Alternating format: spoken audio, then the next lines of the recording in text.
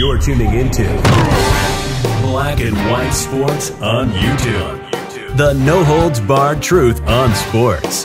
The main event starts now. I'm back. Rudrance for Black and White Sports. Well, another day, yet another NFL player that is in a major bind, and we're talking about for some repugnant ass actions this time. I mean, not that any of them are really any good, but we're talking about the National Felon League here. Again, my goodness, we could start a second channel just on NFL arrest, it seems. Well, um, I can't remember. I saw an article the other day, by the way, where there's been this may make 11 or 12 just since this uh this the Pro Bowl when Alvin Kamara got got busted for uh, wrecking that dude in that Las Vegas hotel. Mean, it's crazy. It's absolutely ludicrous.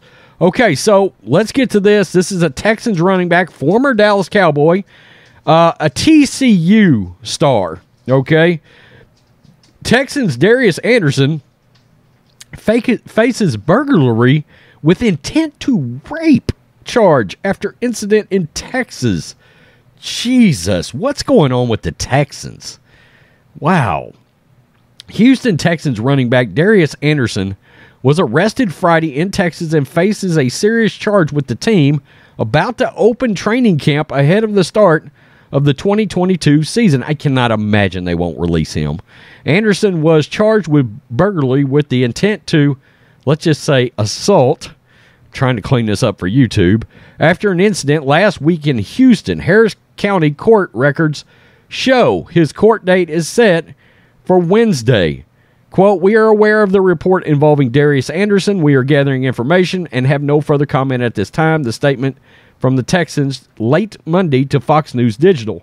Anderson, 24, allegedly broke into a Houston home and pursued a woman into the bathroom, and later the woman called the cops from the bathroom while Anderson left, according to PFT.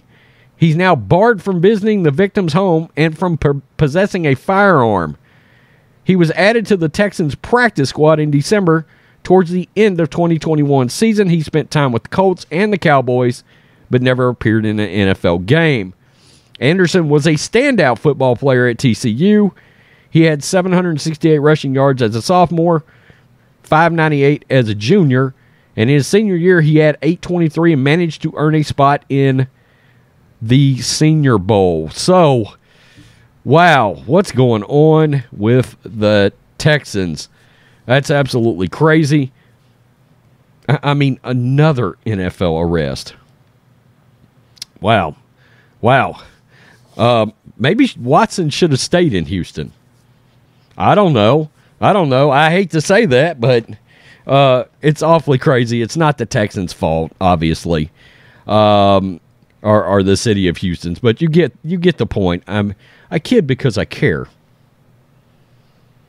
Yeah. Anyway, this is repugnant.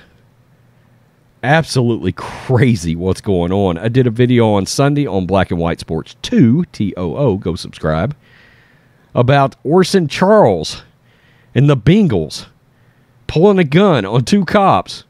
And here we are.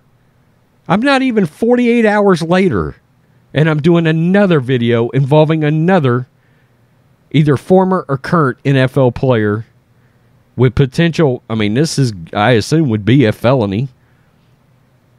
Wow. Wow. Peace. I'm out. Till next time. Black and White Network supporters, make sure you check out the Black and White Network merchandise store.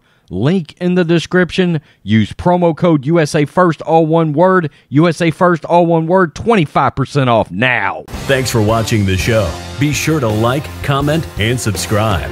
Be sure to tune in next time on Black and White Sports.